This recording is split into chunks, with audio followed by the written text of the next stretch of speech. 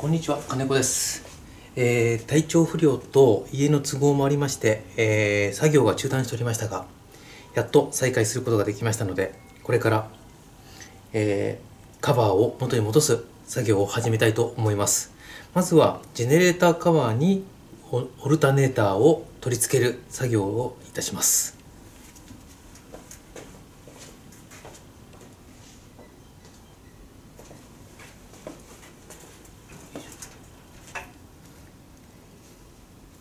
オルタネーターです。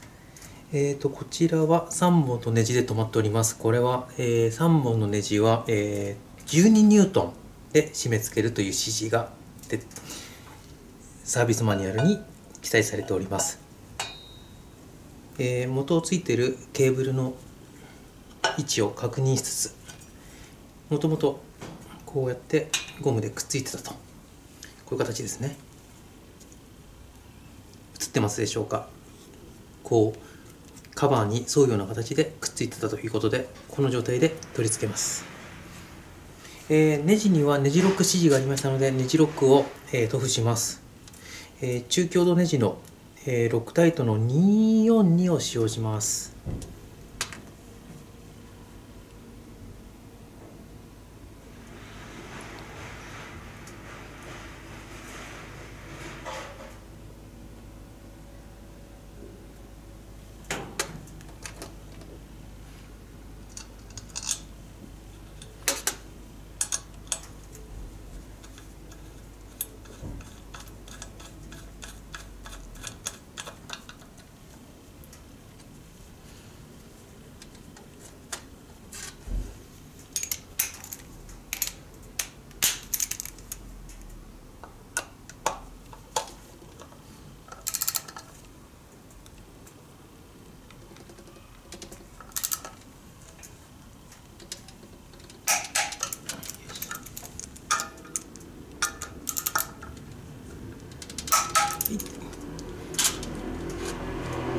はい締め付けました。えーっと次にこちらのケーブル押さえを締め付けます。こちらは7ニュートン8ニュートンぐらいの指示です。なので、えーこちらは10からしかありませんので、えー10ニュートンで締めていきたいと思います。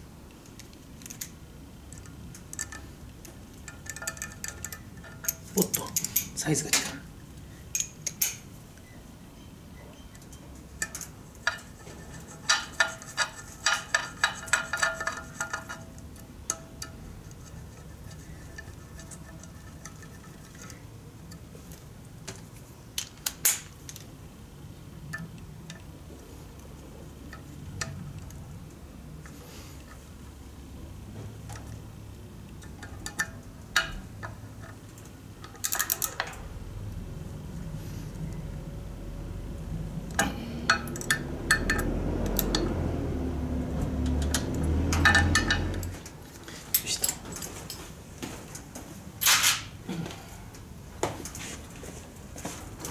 ちらのケーブルのここに、えーガスケットの液体ガスケットの指示がありましたのでガスケットを塗っておきます。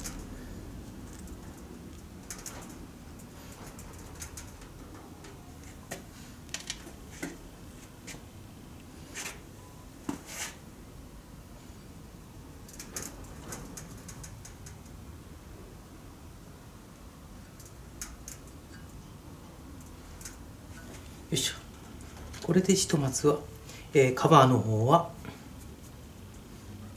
出来上がりました。では、えーバイクの車体のエンジあエンジンの方に取り付けたいと思います。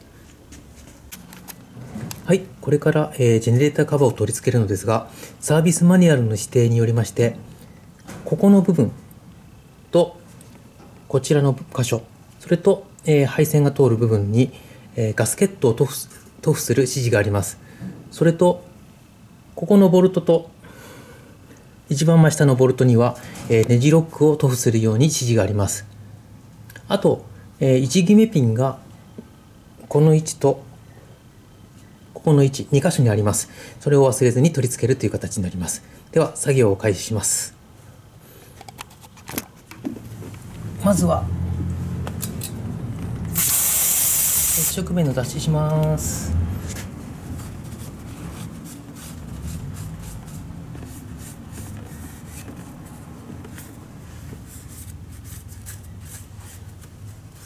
では、えー、ガスケットを塗布しておきます。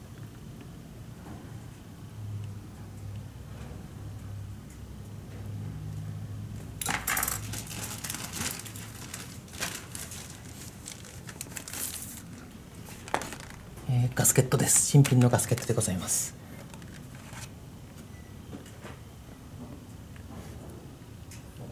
よいしょ。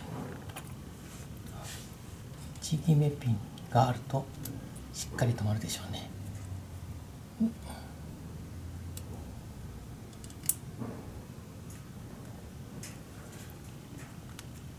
いしょ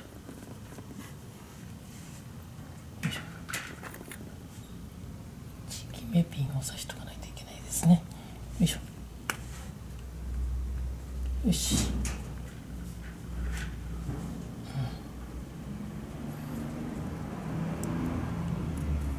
では、えーガスケット取り付けました。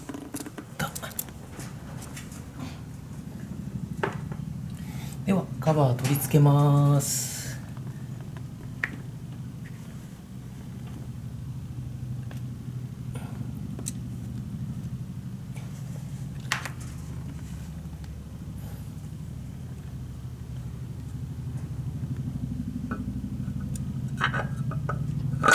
おマグネットの影響力ですごいピタッとくっついてしまう。よいしょ。あらら。あいかん。いかんいかんいかんいかん。よいしょよいしょ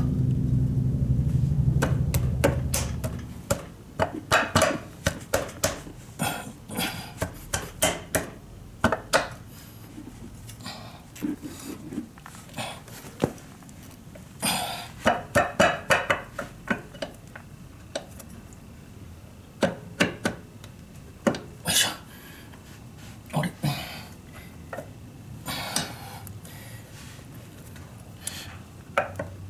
よいしょ、うんあれくっつかねえあれ？なんだこれ？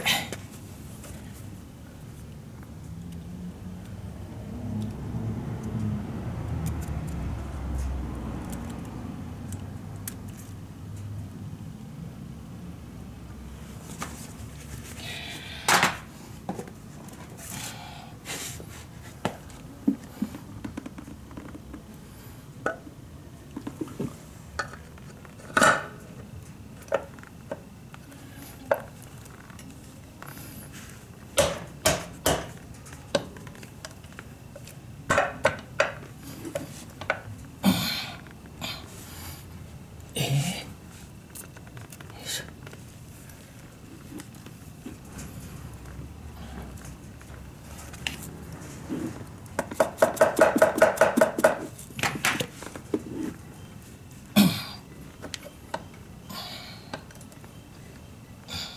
いしょ。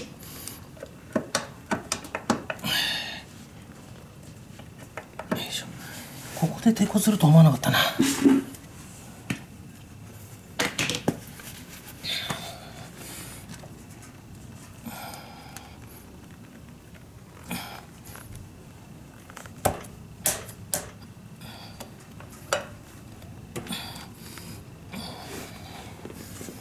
いや参った。はい。えー、っとですねやっちまいました。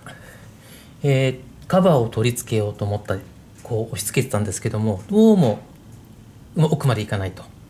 でその原因がここにある位置決めピン2箇所ある位置決めピンななのかなと思い位置決めピンを外していろいろあのはめ合いの具合を見ようと思ったんですけどもそのうち、えーお分かりでしょうか、えーその位置決めピンの一つを、えー抜き差ししている間に変形させてしまいました。